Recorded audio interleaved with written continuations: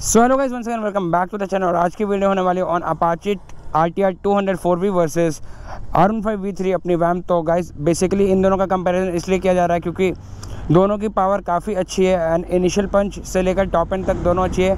दोनों bike 150 approx achieve करती है। तो चलो गाइस बिना लेट के हम लोग चलते हैं इसकी टेस्ट करते हैं क्या होगा रिज़ल्ट और गाइज़ अभी मैंने बता देता पहले आप लोगों को कि, कि मेरी स्प्रॉकेट अभी तक चेंज नहीं हुई स्प्रॉकेट वही है।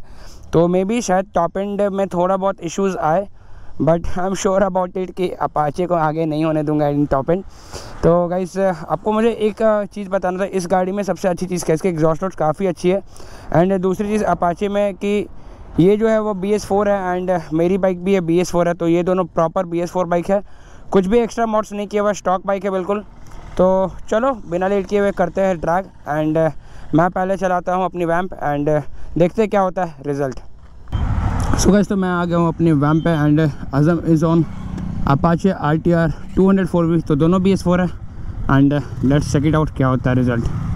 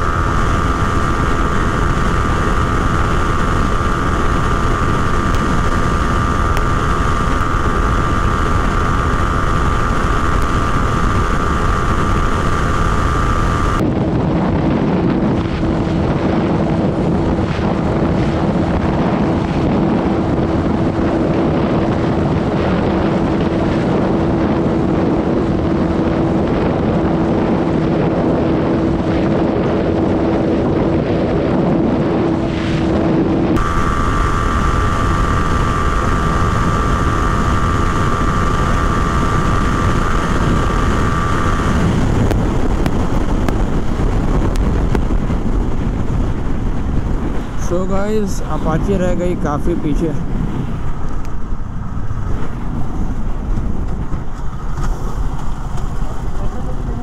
हाँ। टॉप में मार खा जाती है जैसा पता है। तो टॉप में नहीं निकलेगी मतलब है ना? नहीं, नहीं बाइक कितनी गई? हुआ ना वो जो टेंपो वाला आ गया उसके वजह से ना स्लिप स्ट्रीम लेने का जो मेन टाइम होता है। वो छूट गया गैप बन गया। तो मतलब स्लिप स्ट्रीम के बिना हो नहीं पाएगा पकड़ नहीं पाएगा है ना? कितनी जा रही थी बाइक तो? अच्छा इधर विंड ब्लास्ट आता है क्या अभी बाइक वन है वन फोर्टी फाइव ही। गए थे अभी। तो तो भाई बहुत गलत वाला बाइट आया लग में भी यार। देखा बार बार सही कर रहे थे। एक्सेलरेशन की विनर हाँ अपाची है।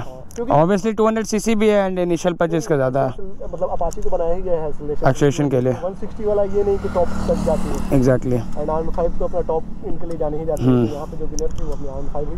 तो तो सेकंड अटेम्प्ट करके देखो उस तरफ़ से करते हैं स्विच करके। एक बार वैसे प्रॉब्लम क्या हो रहा था ना अभी ऐसा वाला बाइट आया ना भाई। मेरे को लग रहा था कि यार चेन स्प्रॉकेट जब तक पूरी तरह से चेंज नहीं होगा ना बाइक का टॉप एंड नहीं आएगा।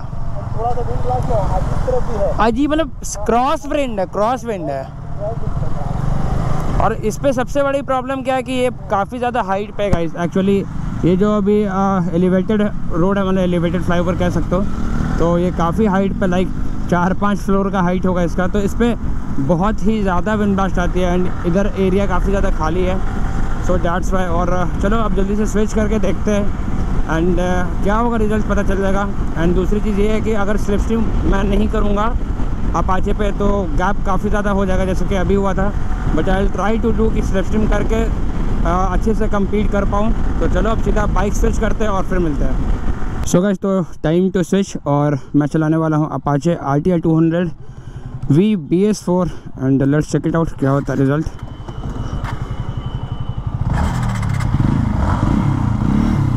यार अभी बाइक न्यूट्रल शो कर रही थी बट बाइक फ़र्स्ट गियर में थी। डोंट नो मे बी थोड़ा इशू होगा।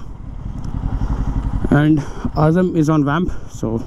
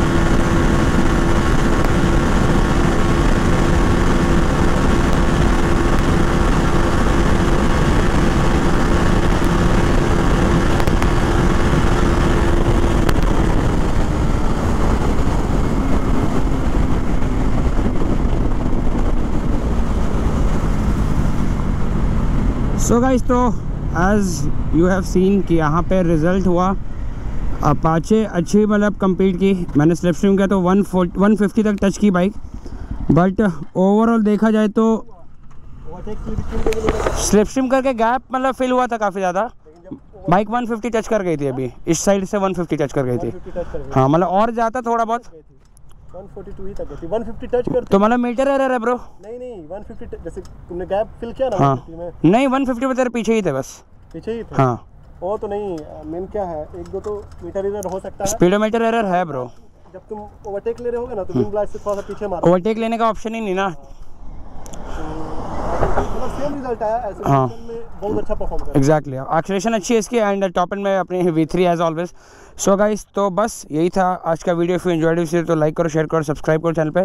एंड अपाचे का स्टार्टिंग से हम लोग ने देखा है और सुना भी है और चला कर भी ये फील किया कि इनिशियल पंच इसकी काफ़ी अच्छी होती है। मतलब ज़ीरो टू हंड्रेड काफ़ी क्विक होती है। चाहे वो वन सिक्सटी भी आप क्यों ना ले लो ज़ीरो टू हंड्रेड काफ़ी अच्छी है। तो देखा अभी जैसे कि उस टाइम में आज़म ने स्लिप स्ट्रीम नहीं किया तो इस वजह से बाइक वन फोर्टी टच की थी कितने लास्ट टाइम 143 तक लगता है। 143 एंड अभी मैंने स्लिप स्ट्रीम लिया तो 150 के अराउंड टच की बाइक तो स्लिप स्ट्रीम का क्या बेनिफिट्स है आप लोगों को पता है?